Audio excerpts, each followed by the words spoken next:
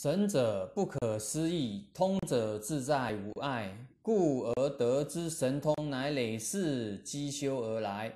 今日既要精进，就必须先达于空无的阶段，然后再有，之后才能真空妙有。所谓不经罗汉阶段，无法证菩萨，所以要按部就班。修行的法门由小圣而进入大圣。